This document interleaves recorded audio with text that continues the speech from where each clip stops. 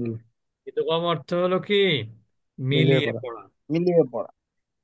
এখন কার সাথে কার মিল হবে সেইটা আমরা একটু দেখব। যদি নুন সাকিন দেখেন এখানে কিন্তু এটা নুন সাকিন। অথবা যদি হুম। তানবিন এই নুন সাকিন অথবা তানবিনের পরে যদি এদগমের ছয়টি অক্ষরের কোনো একটি অক্ষর আসে এদগমের ছয়টি অক্ষর হলো ইয়া ওয়াও ওয়াও মিম নুন এ লাম আমি গরম লাগে এসি চালাই দে। র। তাহলে ইয়া ওয়াও মিম নুন লাম র। যেটাকে আমরা মনে রাখার সুবিধার্থে আমরা স- বলতে পারি ইয়াউমুন লার লারা ইয়াউমুন লার লারা লারা ইয়াউমুন শব্দের অর্থ কিন্তু দিন। ইয়াউমুন শব্দের অর্থ কি? ইয়াউমুন দিন। দিন। আর লারা হচ্ছে লারা। তাহলে এখানে এই ছয়টা অক্ষরের কোনো একটা অক্ষর যদি নুন সাকিন অথবা তানবিনের পরে আসে তাহলে দেখবেন এই নুন হুম, সাকিন যুক্ত নুন এবং তানবিনের মধ্যে যে নুনটা লুকায়িত থাকে সাকিন যুক্ত হ্যাঁ স্পষ্ট নুন এবং তানবিনের মধ্যে যে নুনটা লুকায়িত থাকে কোনো নুনই উচ্চারণ হবে না। বরং তার পরবর্তী অক্ষরকে নুন সাকিনের আগের অক্ষর কানেক্ট করবে। যেমন দেখেন এখানে কার সাথে কে যু- যুক্ত হবে কে? মিলাবে কে? এই ইয়া যুক্ত মিমটা ইয়া ইয়ার সাথে মিলিয়ে পড়তে হবে নুনটা কিন্তু পড়া হবে না। কারণ হচ্ছে এদগমের অক্ষরের উপরে কি থাকে? তাসদিদ থাকে। এদগমের অক্ষরের উপরে কি থাকে? তাসদিদ। তাসদিদ। তাসদিদ। তাহলে সাকিন এবং তাসদিদ যদি পাশাপাশি থাকে তাহলে তাসদিদটা প্রাধান্য পায়। এই জন্য এই জবরযুক্ত মিম কাকে ধরলো? তাসদিদ যুক্ত ইয়াকে। তাহলে কি হবে এটা?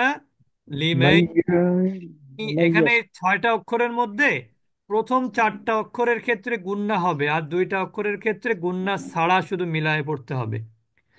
যেমন এখানে বলি আমরা লিমাই ও সবাই বলি। ইয়াশাউ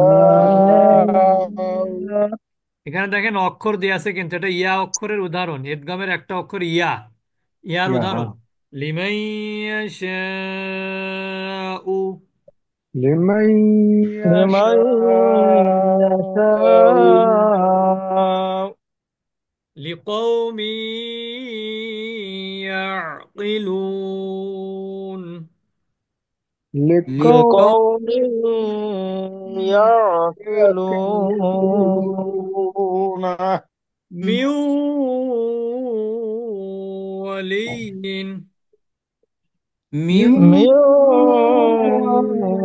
ولي من ولي من من ولي ولي سنة ولا نوم سنة سنة ولا نوم سنة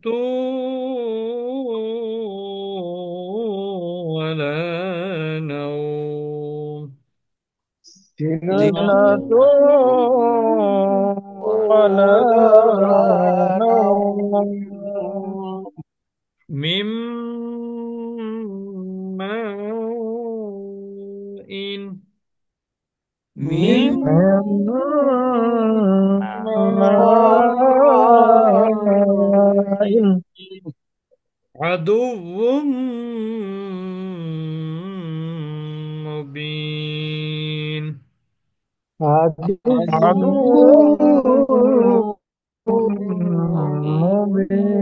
مبين من نعمة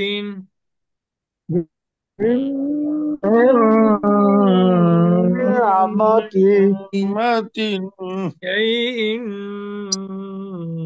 نحن شيء نحن شيء نحن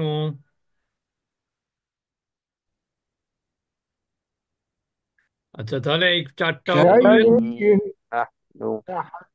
আচ্ছা এখান থেকে আমার ইন্টারনেট মনে হয় একটু ই হচ্ছে মনে হয় ডিস্টার্ব হচ্ছে মনে হচ্ছে আচ্ছা এখানে এই চারটা অক্ষরের উদাহরণে আমরা কি দেখলাম? গুণনা সহ আমরা মিলিয়ে পড়লাম।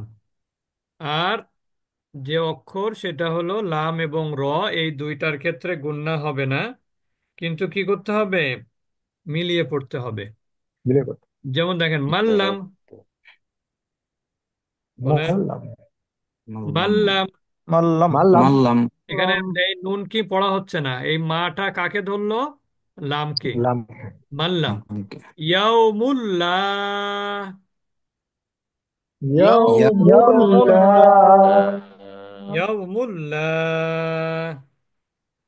ইয়াউমুল্লাহ এখানে দেখেন ইয়াউমুল এখানে কিন্তু যদি লাম লা না থাকতো তাহলে কি হতো? ইয়াউমুন হতো। মুন হলে নুনের উচ্চারণ হতো। নুন ইয়াউমুন বললে কি? নুনের উচ্চারণ হতো না? জি জি। তারপর দেখেন মির রব্বিকুম। মির রাব্বিকুম। গফুরুর রহিম।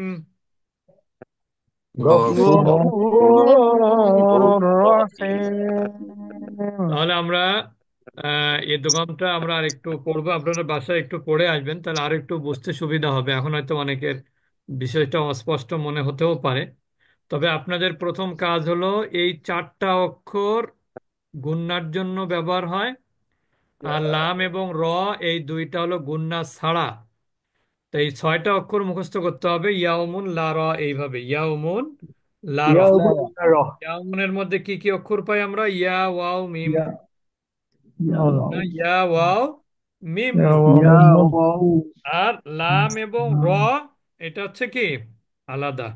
ইয়াউমুন লা র। ইয়া ওয়াও মিম নুন লাম এবং র। র।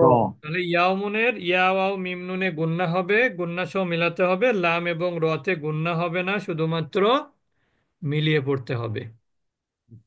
আজকে রেকর্ডটা একটু শুনতে শুনবেন তাহলে